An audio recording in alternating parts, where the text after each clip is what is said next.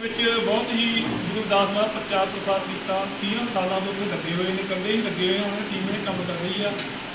ਇਹਨੀ 2009 ਵਿੱਚ ਪੱਖਾ ਮੰਨ ਲਬਦਾਸੀਆ ਧਰਮ ਉੱਧਰ ਰਜਿਸਟਰ ਕਰਵਾਇਆ ਯਾਨੀ ਕਿ 10 ਵਿੱਚ ਮਾਨਤਾ ਮਿਲ ਗਈ ਆ ਤੇ ਇਕੱਲੇ ਹੀ ਕੰਮ ਕਰ ਰਹੇ। ਹੁਣ ਇਹਨਾਂ ਦੇ ਨਾਲ ਟੀਮ ਵਰਕ ਕੰਮ ਹੋ ਰਿਹਾ ਤੇ ਆਪਣੇ ਵਿਚਾਰ ਸੰਗਤਾਂ ਨੂੰ ਦੇਣਗੇ ਧੰਨਵਾਦ ਰਾਏ ਕਾਲਾ ਜੀ। ਹਾਂਜੀ ਜੈ ਗੁਰਦੇਵ। ਧੰਨਵਾਦ। ਜੈ ਗੁਰਦੇਵ। ਧੰਨਵਾਦ। ਜੈ ਗੁਰਦੇਵ। ਧੰਨਵਾਦ। ਹਾਂਜੀ ਮੈਨੂੰ ਬੜੀ ਖੁਸ਼ੀ ਹੋਈ ਜਦੋਂ ਅਸੀਂ ਆਏ ਹਾਂ ਜਿਸ ਤਰ੍ਹਾਂ ਤੁਸੀਂ ਸਾਡਾ ਸਤਿਕਾਰ ਮਾਣ ਕੀਤਾ।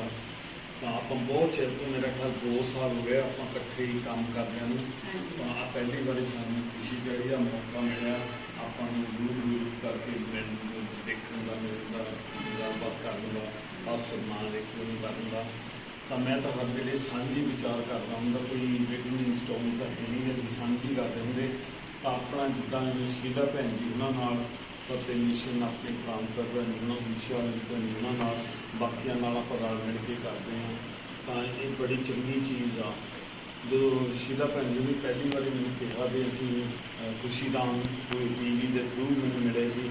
ਕਹਿੰਦੇ ਵੀ ਆਪਾਂ ਨਾ ਵੀ ਕੋਈ ਕੰਮ ਕਰਨਾ ਚਾਹੁੰਦੇ ਆ ਇਕੱਠੀਆਂ ਤਾਂ ਅਸੀਂ ਬੂਟੇ ਲਾਉਣੇ ਆ ਇਹੀ ਸੀਗਾ ਨਾ। ਤਾਂ ਕਹਿੰਦੇ ਵੀ ਅਸੀਂ ਕਿਹਾ ਵੀ ਤੁਸੀਂ ਇਹ ਵਿੱਚ ਜੇ ਜਿਹੜੇ ਬੂਟੇ ਲਾਉਣੇ ਉਹ ਕੱਲੀ ਹਵਾ ਸਾਨੂੰ ਰਵਿਦਾਸੀਆਂ ਨੂੰ ਨਹੀਂ ਮਿਲਣੀ ਸਾਰੇ ਸੰਸਾਰ ਨੂੰ ਮਿਲਣੀ ਆ। ਤੇ ਤੁਸੀਂ ਕਿਸੇ ਇਹ ਨਹੀਂ ਜੇ ਕੋਈ ਤੁਹਾਨੂੰ ਕਹਿ ਦੇਵੇ ਮੋਦੀ ਵੀ ਕਹਿ ਦੇਵੇ ਸਾਡੇ ਮੇਰੇ ਮੇਰੇ ਬਗੀਚੇ ਵਿੱਚ ਲਾ ਲਓ ਤਾਂ ਅਸੀਂ ਇੱਥੇ ਵੀ ਲਾ ਕੇ ਆਉਣਾ ਅਸੀਂ ਫ਼ਰਕ ਨਹੀਂ ਕਰਨਾ ਹੈਗਾ। ਤਾਂ ਹੀ ਸਾਡਾ ਮਿਸ਼ਨ ਵਧਣਾ ਜਿੱਦਾਂ ਹੁਣ ਫਰਸਟ ਏਡ ਜਿਹੜੇ ਰੈੱਡ ਕਰਾਸ ਆ ਉਹ ਇਹ ਨਹੀਂ ਦੇਖਦੇ ਰਵਿਦਾਸੀਆ ਸਿੱਖ ਜੋ ਹਿੰਦੂ ਆ ਜੋ ਯੂਕਰੇਨ ਤੋਂ ਜੋ ਕਿਤੇ ਹੋਣ ਉਹ ਸਾਰਿਆਂ ਦੀ ਸੇਵਾ ਕਰਦੇ ਆ। ਇੱਦਾਂ ਹੀ ਆਪਾਂ ਕਿ ਅਸੀਂ ਬੂਟਿਆਂ ਦੀ ਸੇਵਾ ਕਰਨੀ ਸਾਰਿਆਂ ਨੇ ਕਰਨੀ। ਹੁਣ ਤੁਸੀਂ ਹੋਰ ਵੱਡਾ ਮਿਸ਼ਨ ਚੱਕ ਲਿਆ ਜਾਂ ਸਿਲਾਈ ਸਕੂਲ ਦਾ ਜਿਹੜੇ ਸਕੂਲ ਖੋਲਦੇ ਆ ਤਾਂ ਬੀਬੀਆਂ ਨੂੰ ਸਕਾਲਰ ਦਾ ਉਹ ਵੀ ਤੁਸੀਂ ਵਧਾਈ ਦੇ ਪਾਤਰ ਹੋ ਦੇ ਤੁਹਾਨੂੰ ਜਿਹੜਾ ਤੁਸੀਂ ਇਹ ਚੱਕਿਆ ਆ। ਤਾਂ ਜਿਹੜਾ ਰਲ ਮਿਲ ਕੇ ਸਭ ਤੋਂ ਡਿਫਿਕਲਟ ਹੈਗਾ ਆ ਵੀ ਸਾਨੂੰ ਨਾ ਇਹ ਕਲੋਨਲਾਈਜੇਸ਼ਨ ਜਿਹੜੀ ਗੋਰੇ ਆ ਕੇ ਸਾਨੂੰ ਦੱਸ ਦਿਓ, ਤੁਸੀਂ ਇਦਾਂ ਰਹਿਣਾ ਆ ਜਿੱਦਾਂ ਰਹਿੰਦੇ, ਸਹੀ ਨਹੀਂ ਇਦਾਂ ਰਹਿਣਾ। ਜਿਹੜਾ ਬੀਬੀਆਂ ਨੂੰ ਹੱਕ, ਜਨਾਨੀਆਂ ਨੂੰ ਹੱਕ ਬਰਾਬਰ ਨਹੀਂ ਮਿਲਦਾ ਹੈਗਾ। ਅਗਰ ਜੇ ਉਹ ਕਰਨ ਨੂੰ ਮੰਗਦੇ ਆ ਹੱਕ ਬਰਾਬਰ, ਉਹ ਐਕਸੈਪਟ ਨਹੀਂ ਕਰਦੇ ਜਿਹੜੇ ਬੰਦੇ ਮੈਨ ਉਹ ਕਹਿੰਦੇ ਸਾਡਾ ਮੈਨਸ ਵਰਲਡ ਆ ਤਾਂ ਇਹ ਸਾਡੇ ਲਈ ਮਾਣ ਦੀ ਚੀਜ਼ ਹੈ ਜਿਹੜਾ ਤੁਸੀਂ ਉੱਠ ਕੇ ਨਾ ਵੀ ਕਿਹਾ ਅਸੀਂ ਇਹ ਬੈਰੀਅਰ ਨੂੰ ਬ੍ਰੇਕ ਕਰ ਦੇਣਾ ਸਾਨੂੰ ਜਿੱਦਾਂ ਮਰਜ਼ੀ ਕਹਿਣ ਕੋਈ ਅਸੀਂ ਉੱਠ ਕੇ ਤੁਰਨਾ ਤੁਹਾਨੂੰ ਨਹੀਂ ਕਰਨੀਆਂ ਗੱਲਾਂ ਸੁਣਨੀਆਂ ਪੈਂਦੀਆਂ ਮੈਨੂੰ ਵੀ ਸੁਣਨੀਆਂ ਪੈਂਦੀਆਂ। ਕਹਿੰਦੇ ਤੂੰ ਕੀ ਲੱਗੋ ਲੇਡੀਜ਼ ਨੂੰ ਜ਼ਿਆਦਾ ਸੁਣਨੀਆਂ ਪੈਂਦੀਆਂ ਨੇ। ਹਾਂਜੀ ਸਾਨੂੰ ਵੀ ਸੁਣਨੀਆਂ ਪੈਂਦੀਆਂ ਮੈਨੂੰ ਵੀ ਸੁਣਨੀਆਂ ਪੈਂਦੀਆਂ ਤੁਸੀਂ ਕਿਹੜਾ ਕੰਮ ਕਰਦੇ? ਮੈਂ ਕਿਹਾ ਜਦੋਂ ਗੁਰੂ ਸਾਡੇ ਗੁਰੂ ਨੇ ਬਰਾਬਰ ਹੱਕ ਦੇ ਦਿੱਤਾ ਤਾਂ ਸਾਨੂੰ ਉਹ ਮੰਨਣਾ ਪੈਣਾ। ਜੇ ਜੋ ਕੁਝ ਗੁਰੂ ਮਹਾਰਾਜ ਨੇ ਸ਼ਬਦਾਂ 'ਚ ਲਿਖ ਦਿੱਤਾ ਅਸੀਂ ਕਹਿੰਦੇ ਹੁੰਦੇ ਵੀ ਸਜੇ ਮੇਰਾ ਵੀ ਕਹਿਣਾ ਮੰਨਣਾ ਜੇ ਤੁਸੀਂ ਘਰ ਜਾਂਦਾ ਦਾ ਨਹੀਂ, ਰਿਸ਼ਤੇਦਾਰਾਂ ਦੇ ਮੰਨਣਾ ਗੁਰੂ ਦਾ ਤਾਂ ਕਹਿਣਾ ਮੰਨ ਲਓ। ਸੋ ਗੁਰੂ ਜੀ ਨੇ ਆਪਾਂ ਨੂੰ ਬਰਾਬਰ ਹੱਕ ਦਿੱਤਾ ਆ। ਆਪਾਂ ਇਹ ਕਿਸੇ ਦੇ ਵੱਲ ਦੇਖ ਕੇ ਢੇਰੀ ਨਹੀਂ ਢਾਉਣੀ ਸਾਨੂੰ ਵੀ ਬਥੇਰੇ ਲੋਕ ਗੱਲਾਂ ਕਰਦੇ ਆ, ਬਣਾਉਂਦੇ ਆ। ਪਰ ਜਿਹੜੇ ਮਿਸ਼ਨ ਤੇ ਆਪਾਂ ਤੁਰੇ ਹੋਏ ਹਾਂ ਉਹ ਮਿਸ਼ਨ ਤੋਂ ਆਪਾਂ ਪਿੱਛੇ ਨਹੀਂ ਹਟਣਾ ਹੈਗਾ। ਖੁਸ਼ੀ ਇਹ ਆ ਵੀ ਪਿੱਛੇ ਬੱਚੇ ਵੀ ਹੈਗੇ ਆ, ਜਿਹੜੇ ਅੱਜ ਮੈਨੂੰ ਖੁਸ਼ੀ ਚੜੀ ਆ ਵੀ ਆਪਣੇ ਪਰਿਵਾਰ ਦੇ ਵਿੱਚ ਬੱਚੇ ਜਿਹੜੇ ਪਿੱਛੇ ਖੜੇ ਸੁਣਦੇ ਆ। ਕਰਕੇ ਬੱਚੇ ਗੁਰਦੁਆਰਿਆਂ ਵਿੱਚ ਨਹੀਂ ਜਾਂਦੇ। ਸਾਡੇ ਹੱਥ ਗਏ ਆ ਗੁਰਦੁਆਰੇ ਚ ਇੰਗਲੈਂਡ ਵਿੱਚ ਵੀ ਖਿੱਚ ਧੂ ਕੇ ਲੈ ਕੇ ਜਾਏਗਾ ਉਹ ਵੀ ਜਾਂਦੇ ਜੀ ਕਿਸੇ ਦਾ ਖਾਸ ਵਿਆਹ ਹੋਵੇ ਕੋਈ ਪਾਰਟੀ ਹੋਵੇ, ਫੇਰ ਹੀ ਜਾਂਦੇ ਜਾਂ ਆਪਣੇ ਪਰਿਵਾਰ ਦਾ ਹੋਵੇ, ਨਹੀਂ ਉਹ ਗੁਰਦੁਆਰਿਆਂ ਵਿੱਚ ਨਹੀਂ ਪੜ੍ਹਦੇ ਇਹ ਕਿਤੇ ਨਾ ਕਿਤੇ ਸਾਡੇ ਗੁਰਦੁਆਰਿਆਂ ਵਿੱਚ ਸਾਡੀ ਸੋਚ ਵਿੱਚ ਕਮੀ ਰਹਿ ਗਈ ਹੈ ਸੋਚ ਦੀ ਆਪਾਂ ਕਮੀ ਕਰਦੇ ਹਾਂ। ਜਿਹੜੇ ਗੁਰਦੁਆਰਿਆਂ ਨੇ ਮੰਦਰ ਆਪਣੇ ਦੇਣ ਨੇ ਇੱਕ ਤਾਂ ਜ਼ਰੂਰ ਸੋਚਿਆ ਹੋਊਗਾ ਵੀ ਸਾਨੂੰ ਬਰਾਬਰ ਹੱਕ ਮਿਲਣੇ ਚਾਹੀਦੇ ਇਸ ਦੇਸ਼ ਵਿੱਚ ਅਸੀਂ ਰਹਿੰਦੇ ਹਾਂ। ਅਸੀਂ ਇੰਗਲੈਂਡ ਵਿੱਚ ਰਹਿੰਦੇ ਹਾਂ ਅਸੀਂ ਇਹ ਵੀ ਸੋਚਦੇ ਹਾਂ ਵੀ ਸਾਡਾ ਉੱਥੇ ਸਹੂਲਤਾਂ ਚੰਗੀਆਂ ਆ ਸਾਨੂੰ ਕੁਝ ਮੰਗਣਾ ਨਹੀਂ ਪਿਆ। ਜੀ। ਕੰਮ ਮਿਲਦੇ ਆ।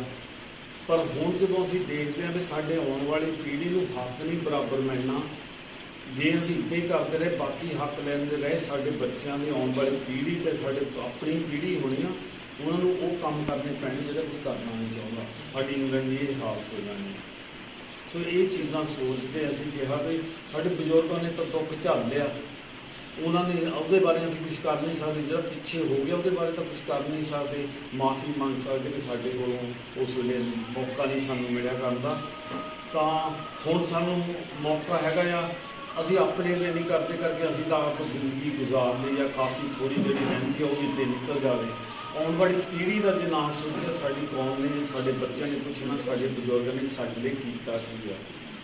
ਜਿਹੜੇ ਗੁਰਦੁਆਰੇ ਆਪਣੇ ਆ ਨਾ ਗੁਰਦੁਆਰੇ ਇੰਗਲੈਂਡ ਦੀ ਗੱਲ ਕਰਦਾ ਜੋ ਇੱਥੇ ਡੇਰੇ ਗੁਰਦੁਆਰੇ ਆ ਇਹਦੀ ਸਾਡੇ ਬਜ਼ੁਰਗਾਂ ਦੇ ਖੂਨ ਪਸੀਨੇ ਦੀ ਕਮਾਈ ਆ ਉੱਥੇ ਲੱਗੀ ਹੋਈ।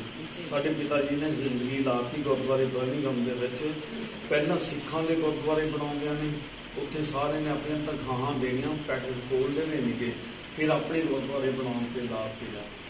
ਤਾਂ ਉਹ ਜੇ ਗੁਰਦੁਆਰੇ ਬਣ ਗਏ ਆ ਉਹਦੇ ਤੇ ਸਾਨੂੰ ਹੁਣ ਅਸੀਂ ਕਹਿੰਦੇ ਆ ਵੀ ਗੁਰਦੁਆਰੇ ਸਾਡਾ ਸਾਥ ਸਾਰਿਆਂ ਨੂੰ ਦੇਣਾ ਚਾਹੀਦਾ ਜੇ ਅਸੀਂ ਅੱਗੇ ਨੂੰ ਉੱਤੇ ਨੂੰ ਚੱਲ- ਚੱਲਣਾ। ਆਪਾਂ ਉੱਤੇ ਜਾ ਕੇ ਹੁਣ ਆਪਣਾ ਹੱਕ ਮੰਗਣੇ ਆ ਵੀ ਸਾਡੇ ਬੱਚਿਆਂ ਕੋਲ ਇੰਨੀਆਂ ਨੌਕਰੀਆਂ ਥੋੜੀਆਂ ਨੇ। ਸਾਨੂੰ ਕੀ ਉਹ ਥੋੜੀਆਂ ਨੌਕਰੀਆਂ ਮਿਲੀਆਂ ਉਹ ਤਾਂ ਹੀ ਮਿਲ ਸਕਦੀਆਂ ਜੇ ਤੁਸੀਂ ਜਨਗਣਨਾ ਚ ਗਿਣਤੀ ਵਿੱਚ ਆਏ ਹੋ। ਸਾਨੂੰ ਇੰਗਲੈਂਡ ਵਿੱਚ ਵੀ ਐਮਐਲਏ ਪ੍ਰਾਈਮ ਐਮਪੀ ਸਾਨੂੰ ਲਾਰੇ ਦਿੰਦੇ ਤੁਹਾਡਾ ਆਹ ਹੱਕ ਹੈ ਜਿੱਦਾਂ ਵਿੰਡੋ ਸ਼ਾਪਿੰਗ ਨਹੀਂ ਕਰੀਦੀ। ਆਪਾਂ ਵਿੰਡੋ ਸ਼ਾਪਿੰਗ ਕਰੀਦੀ ਸਾਡਾ ਹੱਕ ਹੈ, ਸਾਡੇ ਕੋਲ ਪੈਸੇ ਨਹੀਂ ਹੁੰਦੇ ਚੀਜ਼ ਖਰੀਦਣ ਦਾ। ਅਸੀਂ ਦੇਖ ਕੇ ਖੁਸ਼ ਹੋ ਜਾਂਦੇ ਕਿਸੇ ਵੇਲੇ ਸਾਡਾ ਸਮਾਂ ਆਊਗਾ ਐਦਾਂ ਦੀਆਂ ਗੱਡੀਆਂ ਉਹਦਾ ਆਪਣੀ ਗੱਡੀਆਂ ਬੋਸੋਂ ਸਾਰੇ ਚਲਾਉਂਦੇ ਸਾਰੇ ਇੱਥੇ ਮੌਜਾਂ ਕੁੱਤਿਆਂ ਚ ਰਹਿੰਦੇ ਆਪਾਂ ਗੱਡੀਆਂ ਸੋਹਣੀਆਂ ਆ ਕੋਈ ਕਿਰਪਾ ਮਹਾਰਾਜ ਦੀ ਹੈਗੀ ਆਪਾਂ ਮਿਹਨਤ ਕੀਤੀ ਆ। ਪਰ ਕਿੰਨੀਆਂ ਚੀਜ਼ਾਂ ਆਪਣੇ ਹੱਕ ਹੈ ਨਹੀਂ ਕਿ ਇਕੱਲੇ ਆਪਾਂ ਜੇ 10% ਵੀ ਲੈ ਲਏ ਤਾਂ ਮਤਲਬ ਸਾਡੀ ਕੌਮ ਨਹੀਂ ਕਰਦੀ ਪਿੱਛੇ ਬਹੁਤ ਆਪਣੇ ਗਰੀਬ ਹੈ ਜਿਹਨਾਂ ਕੋਲ ਨਹੀਂ ਗਏ ਹੱਕ ਜੇ ਆਪਾਂ ਨਾ ਹੱਕ ਬੰਦੇ ਨਾ ਆਪਣੀਆਂ ਉਹ ਇੱਧਰ ਵਰਗੀਆਂ ਹਾਲਤ ਹੋ ਜਾਣੀ ਇੱਧਰ ਉਹ ਵੀ ਹੋਇਆ ਸੀ ਨਾ। ਕਰੋਨਾ ਵਾਇਰਸ ਨੇ ਦੇਖਿਆ ਸੀ ਕਿ ਇਹਨਾਂ ਨੂੰ ਵੀ ਕੋਈ ਦਿੱਤਾ ਕਿਸੇ ਨੇ ਕੋਈ ਪੈਸੇ ਦਿੱਤੇ ਜੋ ਕਿਸੇ ਦੀ ਹੈਲਪ ਕੀਤੀ। ਸਾਡਾ ਦੁੱਖ ਦੁਖਦਾ ਸੀ ਜਦੋਂ ਟ੍ਰੇਨਾਂ ਤੇ ਆਪਣੇ ਬੰਦੇ ਤੁਰ ਕੇ ਜਾਂਦੇ ਸੀਗੇ। ਕਹਿੰਦੇ ਅਸੀਂ ਤੁਰ ਕੇ ਜਾਣਾ ਮਰਨਾ ਤਾਂ ਹੈਗਾ ਹੀ ਆ। ਜੋ ਭੁੱਖੇ ਮਰ ਜਾਂਦੇ ਜੋ ਆਪਣੇ ਪੈਰ ਪੈਰ ਨੂੰ ਤੁਰੇ ਜਾਂਦੇ ਮਰ ਜਾਂਦੇ। ਸੋ ਇਹ ਜਿਹੜੇ ਜੇ ਗਵਰਨਮੈਂਟ ਚੰਗੀ ਹੋਵੇ, ਉਹ ਸਾਨੂੰ ਹੱਕ ਦਿੰਦੀ ਵੀ ਆਹ ਲਓ ਤੁਹਾਡੇ ਲਈ ਰੋਟੀ ਪਾਣੀ, ਆਹ ਅਸੀਂ ਹੱਕ ਦਿੰਦੇ ਹਾਂ। ਸੋ ਆਪਾਂ ਨੂੰ ਹੱਕ ਮਿਲਣੇ ਨੇ, ਆਪਾਂ ਨੂੰ ਲੈਣੇ ਪੈਣੇ ਨੇ। ਪਰ ਆਪਾਂ ਨੂੰ ਪਹਿਲੀ ਗੱਲ ਤਾਂ ਬਾਹਰੋਂ ਡਾਕਟਰ ਅੰਬੇਦਕਰ ਕਹਿੰਦਾ ਸੀ, ਇਕੱਠੇ ਹੋਵੋ ਪਹਿਲਾਂ ਇਕੱਠੇ ਆਰਗੇਨਾਈਜ਼ ਹੋਵੋ ਆਰਗੇਨਾਈਜ਼ ਹੋ ਕੇ ਬੈਠ ਕੇ ਜਿੱਦਾਂ ਆਪਾਂ ਬੈਠੇ ਹਾਂ, ਕੱਲ੍ਹ ਹੋਰ ਆਰਗੇਨਾਈਜੇਸ਼ਨ ਵੱਧ ਤੋਂ ਵੱਧ। ਫਿਰ ਕਹਿੰਦਾ ਸੀ, ਤੁਸੀਂ ਐਜੂਕੇਟ ਕਰੋ। ਫਿਰ ਆਪਾਂ ਐਜੂਕੇਸ਼ਨ ਸ਼ੁਰੂ ਕਰਨੀ ਹੈ। ਆਪਣੀ ਪ੍ਰੋਬਲਮਾਂ ਜਿਵੇਂ ਡਿਫਰੈਂਟ ਸੋਸਾਇਟੀਜ਼ ਨਾ ਆਪਣੀ ਡਿਫਰੈਂਟ ਹੈਗੇ ਆਰਗੇਨਾਈਜੇਸ਼ਨਸ ਇਕੱਠੇ ਹੋ ਜਾਂਦੇ ਪਰ ਉਸ ਵੇਲੇ ਐਜੂਕੇਸ਼ਨ ਸ਼ੁਰੂ ਕਰ ਦਿੰਦੇ। ਉਹ ਐਜੂਕੇਸ਼ਨ ਤੇ ਆਪਾਂ ਐਜੂਕੇਟ ਕੀਤਾ ਨਹੀਂ ਤਾਂ ਕੀ ਕਹਿਣਾ ਕੀ ਕਰਨਾ ਕੀ ਆਪਾਂ ਲੈਣਾ ਉਹ ਰੌਲਾ ਪੈ ਜਾਂਦਾ ਜਿੱਦਾਂ ਐਤਕੀ ਜਨਗਣਨਾ ਦਾ ਪਿਆ ਸੀ। ਅਸੀਂ ਕਿਹਾ ਸੀ ਇੰਡੀਆ 'ਚ ਤੁਸੀਂ ਇੱਕ ਕਾਲਮ ਲੈ ਲਓ। ਕਾਲਮ ਦੇ ਵਿੱਚ ਕੁਛ ਹੀ ਲਿਖ ਲਓ ਰਵਿਦਾਸ ਦਾ ਲਿਖ ਲਓ ਸਿੱਖ ਲਿਖ ਲਓ ਹਿੰਦੂ ਲਿਖ ਲਓ ਕੁਛ ਵੀ ਲਿਖ ਲਓ ਪਹਿਲਾਂ ਕਾਲਮ ਤਾਂ ਲਵੋ। ਤਾਂ ਕਿ ਬਾਬੂ ਮੰਗੂ ਰਾਮ ਨੇ 1931 ਤੇ ਪਹਿਲਾਂ ਕਾਲਮ ਲਿਖੀ ਸੀ। ਧਰਮ ਦੇ ਵਿੱਚ। ਹੁਣ ਇੰਗਲੈਂਡ ਦੇ ਇੱਕ ਵਿੱਚ ਇੱਕ ਮਿੰਟ ਮੈਂ ਤੁਹਾਡੀ ਗੱਲ